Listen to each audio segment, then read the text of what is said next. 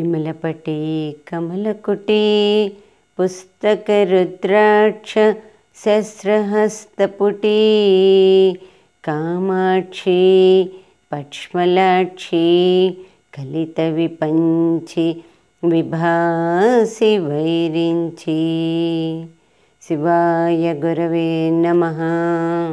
ఇవాళ మనం చెప్పుకోబోతున్న నామము నారాయణి నాదరూప నామరూప వివర్జిత త్వం వైష్ణవీ శక్తి అనంతవీర్య విశ్వస్య బీజం పరమాయుధే శంఖచక్ర గదాశాంగగృహిత పరమాయుధ్ ప్రసీద వైష్ణవీ రూపే నారాయణీ నమోస్తుతే మరియు నందగోప గృహే జాత యశోదా గర్భ సంభవ తతస్థో నా సయిష్యామి వింధ్యాచల నివాసిని ఈ రెండు శ్లోకాలు సప్తశతిలోని పదకొండు పన్నెండవ అధ్యాయాల్లోనిది. ఇక్కడ ఈ నామాలలో నారాయణి నారాయణుడికి అభేదంగా చెప్తున్నారు. ఇక్కడ పై శ్లోకాలన్నీ కూడా సప్తశతిలోని పదకొండు పన్నెండవ అధ్యాయాల్లోనిది. వీటిని గనుక చూసినట్టయితే మనకి నారాయణి నారాయణుడికి ఇద్దరికి అభేదము.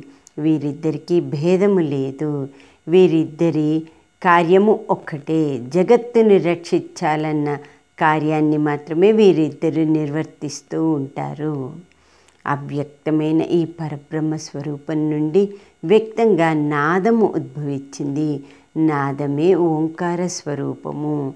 ఆ ఓంకార స్వరూపమే నాదం నుండి శబ్దము శబ్దం నుండి అక్షరము అక్షరం నుంచి వేదంగా పరిణమించింది అమ్మవారు.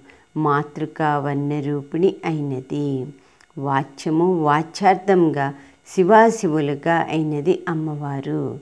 అటువంటి అమ్మవారు ఈ ప్రకృతిని సృష్టించి ప్రపంచాన్ని సృజించినది.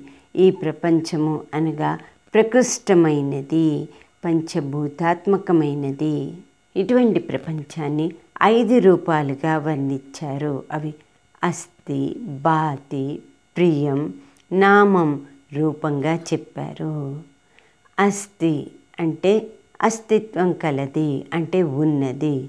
భాతి ఉన్నది కాబట్టి ప్రకాశిస్తుంది. ఆ తర్వాత ప్రియం ఉన్నది కాబట్టి ప్రియమైనది. ఆ ఉన్నదానికి నామం రూపం. సకల జగత్తు ఈ విధంగానే ఏర్పడ్డది. ఎనభై నాలుగు లక్షల జీవరాశులకి ఇది అన్వయించబడుతుంది. అస్థి భాతి ప్రియమన్నవి త్రికాలాభాజ్యాలు ఎప్పటికీ ఉండిపోయేవి. నామరూపాలు తాత్కాలికమైనవి. అమ్మవారు సచ్చిత్ ఆనందరూపిణి ఈ అస్థి భాతి ప్రియంగా అమ్మవారు ఎప్పుడూ ఉంటుంది. నామరూపాలు ఉండేవి కాదు. అందుకని అమ్మవారిని నామరూప వివర్జితగా వసిన్యాది వాగ్దేవతలు ఇక్కడ వర్ణించారు. పూర్ణమద పూర్ణమిద పూర్ణాత్ పూర్ణముదచ్చతే పూర్ణస్య పూర్ణమాదాయ పూర్ణమేవాశిష్యతే ఓం శాంతి శాంతి. శాంతి